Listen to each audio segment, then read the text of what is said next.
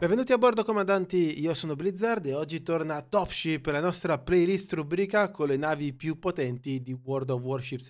In realtà è un vecchio ritorno, sto parlando dell'incrociatore sovietico potentissimo Petropavlovsk che oggi vedremo su Mountain Range, come avete visto sommergibile singolo da entrambe le parti, niente portaerei, importante gruppo da battaglia con ben 5 corazzate per lato, pochi incrociatori, come ormai sappiamo va di moda purtroppo nelle random battle, e ehm, triple cap in linea domination con il nostro spalling sul lato sinistro. È un ritorno sul canale del Petro Pavlos dopo tantissimo tempo, l'avete già visto in recensione qui quando nella nostra playlist del cantiere navale e vide per la prima volta la luce dopo il rilascio tantissimo tempo fa e poi in occasione anche di Battlestar in una fantastica partita di un giocatore del mio clan.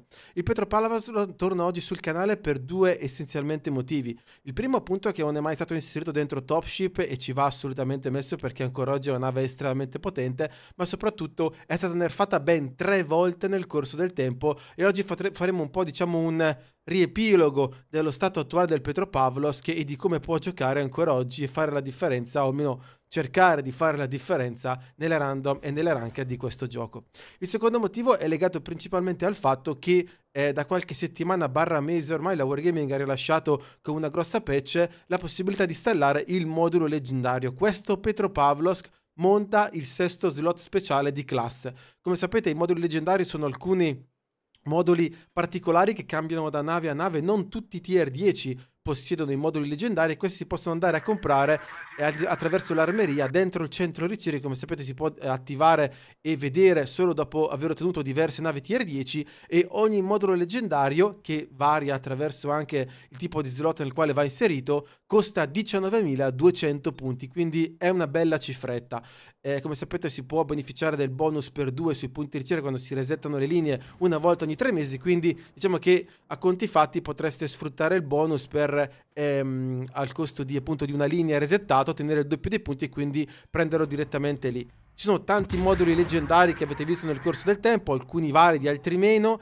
eh, dipende un po' dalla nave, ma è un discorso che abbiamo già fatto in passato e che poi cambia appunto da unità a unità. In questo appunto ehm, setup particolare del Petro vedrete eh, la nave utilizzare esclusivamente o quasi esclusivamente i colpi AP, che tra l'altro sono uno dei potenziamenti offerti dal modulo leggendario che va anche a migliorare tra l'altro la, ehm, la precisione e quindi la minore dispersione dei suoi proiettili a 220 particolarmente interessanti. In questo inizio di partita, come avete notato, il nemico si sta andando a posizionare vicino ai cap. L'atteggiamento della nostra Montana e della nostra Slava sarà molto molto passivo. E dovrò giocare ovviamente di punta sfruttando il possibile spot della Yate che però si andrà a comportare in maniera piuttosto strana sul fianco e ehm, come sempre dovremmo cercare di eh, fare la differenza al meglio puntando solo su noi perché il supporto degli, degli alleati sarà molto molto scarso.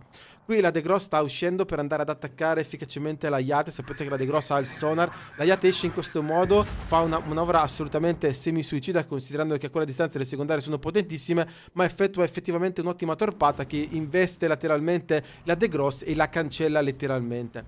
Se notate, stiamo utilizzando benissimo le isole sulla nostra destra, questo perché diamo per scontato che la Proessen possa trovarci in cross sulla fiancata. È fondamentale passare da un isolotto all'altro in questa circostanza per riuscire ad avere sempre una sorta di, eh, possiamo dire, mh, ostacolo naturale che possa non solo permettervi di andare in spot e respirare, ma soprattutto vi possa permettere di eh, evitare magari possibili soluzioni in arrivo sia del Benson che magari del sommergibile avversario che avete visto sicuramente è da questa parte, scusate intanto la tosse ma ancora è presente Dicevo che sicuramente da questa parte ogni tanto eh, spunterà perché il, il, nostro sommergibile U190 è spawnato da questo lato e come sapete lo spawning dei sommergibili in random battle è praticamente perpendicolare quindi se c'è un sommergibile solo per squadra e il vostro è dal vostro lato al 100% ci sarà anche quello avversario. La, la, la Preußen ora sta rallentando per dare un po' di supporto al Benson che ha conquistato il cap di Alfa. La Yate è ancora miracolosamente in vita, mentre spunta nuovamente il simpatico Benson sulla nostra fiancata.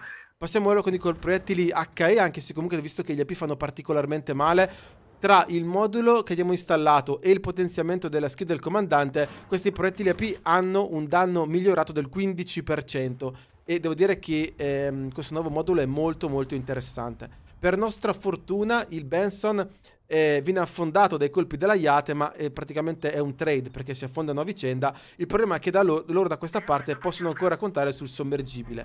Entra ora in azione il nostro sonar mentre eh, entrano anche in azione i nostri eh, bombardieri Air Strike contro il sommergibile. Si tratta di un attacco antisommergibile che praticamente è composto da due bombe in Perù da 4900 ogni 30 secondi fino a 8 km, un attacco singolo per volta. Comandanti, per quanto riguarda eh, il malus de, del, diciamo, del modulo leggendario, è presto detto, il modulo leggendario del Pretro dicevo, migliora del 10% il, il, danno dei proiettili AP, migliora del 10% la eh, precisione dei cannoni, quindi diminuisce la dispersione, ma va a levarvi un consumabile per tipo. Questo vuol dire che avrete un sonar in meno, un radar in meno e un repair party in meno. Ora, questa cosa va assolutamente compensata con il sovrintendente ovvero il sovrintendente, il, um, la, la, skill di sovrintendente a bordo del vostro comandante. Altrimenti, con il modulo leggendario senza quella skill da tre punti, avrete solo e unicamente due consumabili per tipo in partita, cosa che io vi sconsiglio fortemente. Ora, se ci pensate, questo piccolo handicap eh, di elevare un consumabile potrebbe essere eh, un grosso problema quando ci sono delle partite che durano tanto. Ma come sapete, sia le random che le ranked battle sono ormai, diciamo, spesso eh, contrassegnate dal fatto che durano poco. Ora, se ci fate un po' due calcoli, generalmente una partita 3-4 minuti iniziali per ingaggiare i primi avversari. Poi mettiamo di usare una carica di consumabile ogni 3 minuti, ci dà un'autonomia di altri 9. Quindi 9 minuti più i 4 iniziali andiamo a 13. Mettiamo 2 minuti di stabilità generale, andiamo a 15. Quindi tecnicamente con 3 consumabili per tipo, voi per 14-15 minuti avreste comunque l'autonomia della partita. Ecco, diciamo che quindi tutto sommato è una cosa ancora sopportabile.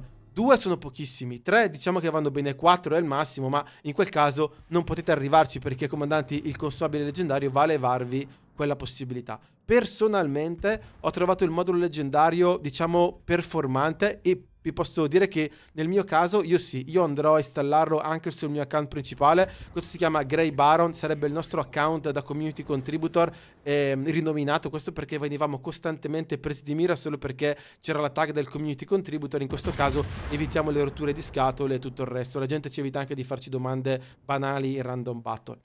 Il colpo, comandanti, eh, va a stringersi molto molto bene, il miglioramento della dispersione si sente come anche perché questi 220 mm comandanti hanno generalmente eh, circa 160 metri di dispersione a una distanza massima di 18 km, e 18 km e mezzo, ma con il modulo migliorano ulteriormente e anche a distanze diciamo di ingaggio medie per il petro tra i 14 e i 16 km diventa veramente delle volte un colpo che si chiude e si stringe tipo quello di un destroyer ed è un lusso che i 220 mm del petro eh, godono a pieno.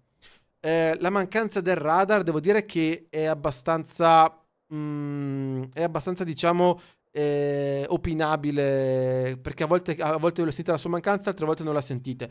Qui vedete tra l'altro in azione l'unico vero handicap del Petropavlovsk, ovvero la virata. Noi stiamo virando, la virata del Petro pensate 990 metri di raggio virata con un timone che risponde della massima efficienza in 12 secondi netti. Qui tra l'altro stavamo rispondendo a un giocatore che mi ha fatto particolarmente arrabbiare in chat e di conseguenza abbiamo ritardato ulteriormente la virata, il colpo boom, centro perfetto, 21.450 50 ehm, punti vita eh, bruciati in questo modo. I suoi 180 mm di raggio di, di, di, cittadella laterale, particolarmente corazzata, hanno comandanti la possibilità di scheggiare molto bene anche colpi particolarmente potenti. Il problema è che quando siete non decisamente angolati, tipo se siamo angolati perfettamente, eh, il colpo comunque in cittadella può arrivare come perché comunque la cittadella del Petro è molto molto lunga, anche se particolarmente corazzata. Tra l'altro, parlavamo prima dei nerf che ha avuto il Petro in questi, in questi, in questi mesi. I nerf comandanti sono arrivati in tre occasioni. Nella prima volta hanno nerfato la ricarica dei cannoni. Nella seconda occasione l'hanno nerfato nel 2021, portando la ricarica nuovamente eh, ancora in situazione più negativa, scendendo da 13 a 14 secondi, quindi un altro secondo di malus di ricarica. Poi è arrivato un ultimo nerf nel 2022 durante la patch 0.11.4 che ha dato a nerfare il ponte centrale che da 50 è passato a 40 mm e oltre a questo c'è stato anche un eh, alzamento diciamo della linea strutturale perché prima la cittadella era più bassa in modo che il Petro potesse prendere colpo in cittadella in maniera più frequente rispetto a quello che accadeva prima.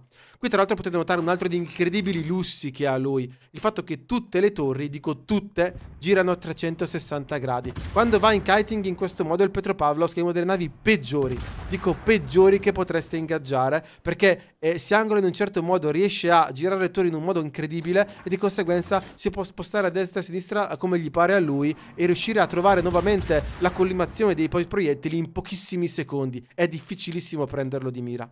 Qui stiamo risparmiando l'ultimo radar mentre siamo arrivati nella seconda parte della partita perché effettivamente lo Shimakaze c'è ormai vicinissimo e sappiamo bene che non sarà così stupido da avvicinarsi in un certo modo sapendo che noi abbiamo un radar a disposizione. Avete visto come il colpo a piede 220 entra che è una goduria sulla corazzata, l'affondamento della Preußen ormai è praticamente cosa fatta.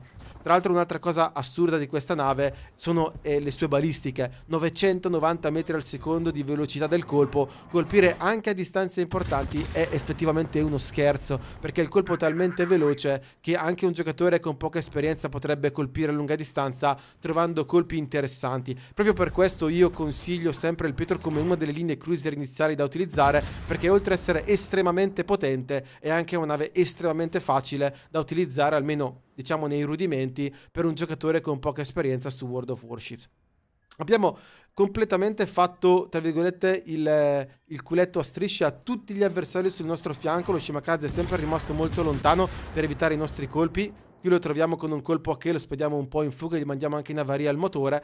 Abbiamo controllato praticamente quasi dall'inizio il cab dopo che è stato affondato il Benson. Il problema, comandanti, è che eh, loro hanno controllato benissimo il lato destro, hanno ucciso tutte le nostre navi, a parte il Zumo che sta sfuggendo per... Eh, la parte finale della partita. Del nostro lato sono morti quasi tutti, tranne la Montana che è finita contro l'unica isola dove non poteva eh, eh andare a schiantarsi, ma l'unica isola più grande che aveva di fronte l'ha centrata in pieno. Giocatori molto strani.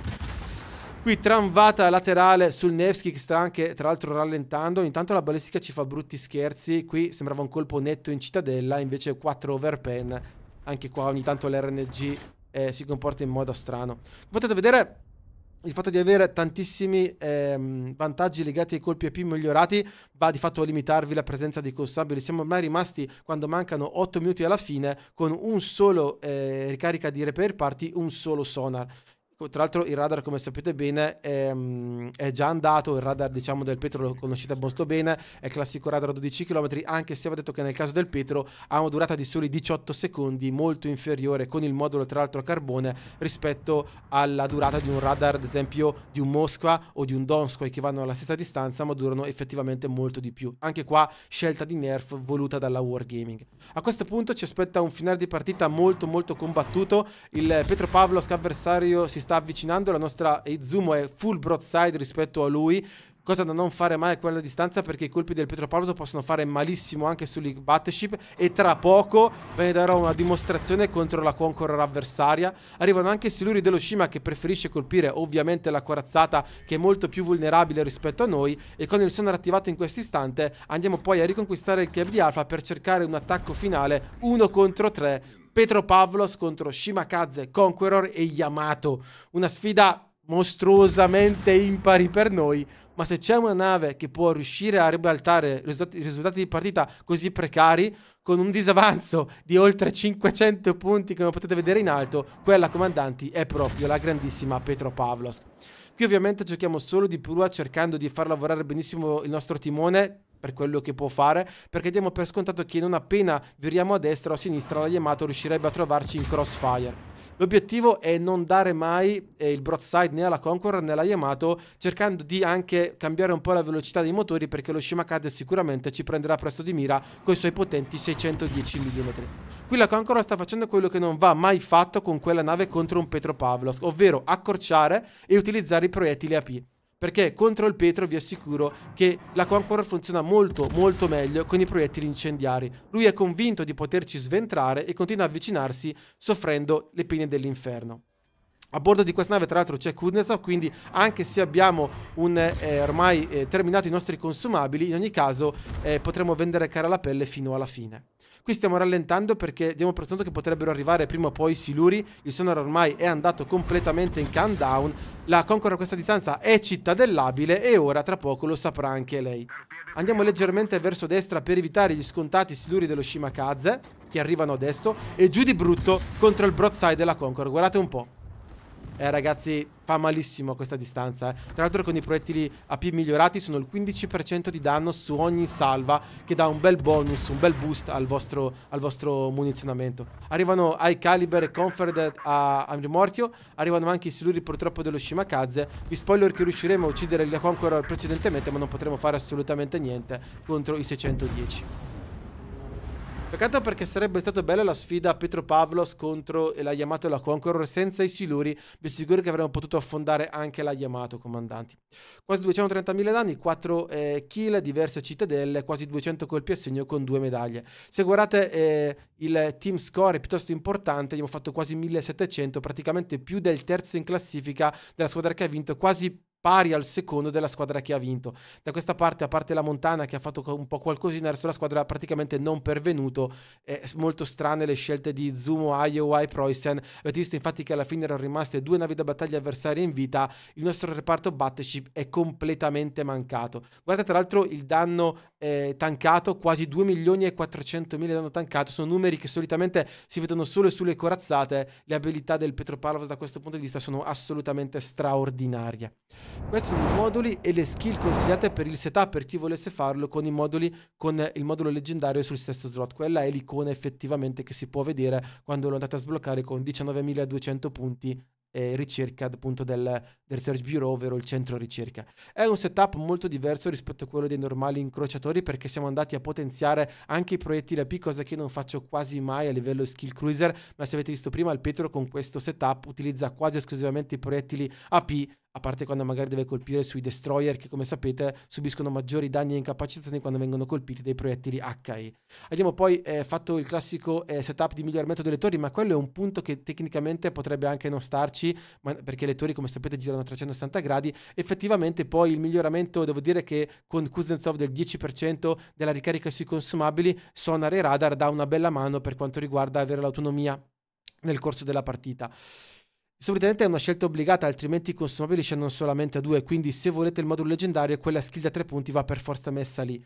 Se notate, il modulo leggendario appunto ha questi due bonus che vi dicevamo prima, più 10% sul colpo OP e meno 10% alla dispersione, quindi due bonus attivi positivi. Il malus è che il, i consumabili scendono di uno, quindi eh, due se non avete sovrintendente, tre con il sovrintendente a bordo.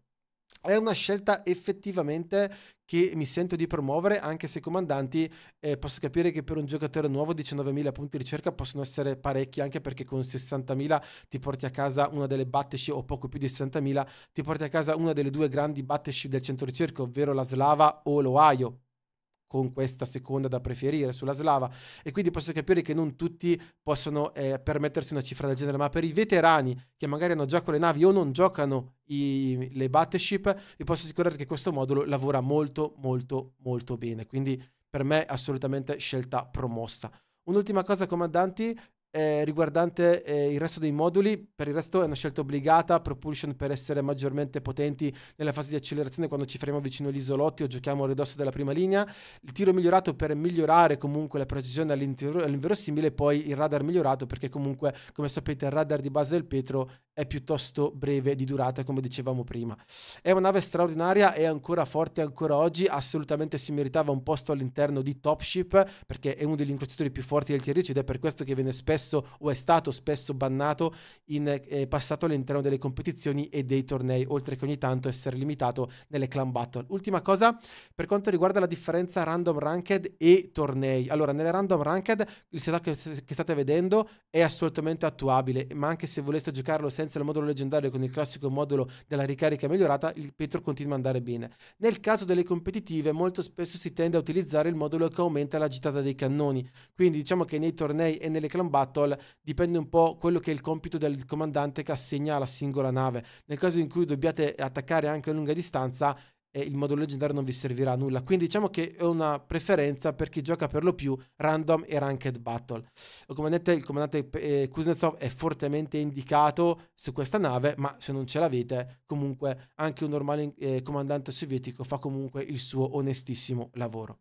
Come sempre vi ricordo che sul finale di partita noi siamo l'altra settimana su Twitch, dal lunedì al venerdì, a volte anche il sabato dopo le 20, questi sono tutti i vantaggi che si possono ottenere se deciderete di supportare il canale con il vostro Amazon Prime. Vi ricordo che con Amazon Prime e collegandolo a Twitch, ottenendo quindi Prime Gaming, l'abbonamento dura 30 giorni, non costa assolutamente nulla. Si deve poi rinnovare altri 30 giorni se volete continuare a darci una mano, e bastano sempre i due clic ed è sempre a costo assolutamente gratuito. Per chi invece volesse proprio fare il super generoso e darci una mano comunque, l'abbonamento mensile costa 4 euro, quindi un euro a settimana. diciamo che è un pacchetto di sigarette, ecco, però in quel caso dovete per forza di cose metterci dei soldi ogni mese se volete darci una mano. Un grazie sempre enorme a tutti quelli della Blaze Squad che supportano ogni mese le nostre iniziative e ci permettono di fare sempre video migliori ed essere presenti qui nel mondo dei mari di World of Warships. Signori, spero che il video comunque vi sia piaciuto. Petro Pavlos con modulo leggendario in Topship. Io e il Barone Grigio eh, vi diamo un nuovo appuntamento la prossima settimana, probabilmente lunedì, con un nuovo video. Da sottoscritto ed è l'ammiraglio del lago di Garda. Signori, buona caccia!